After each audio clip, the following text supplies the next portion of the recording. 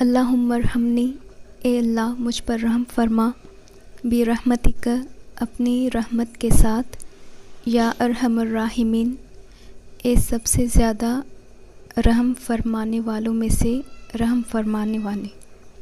मुझ पर रहम फरमा।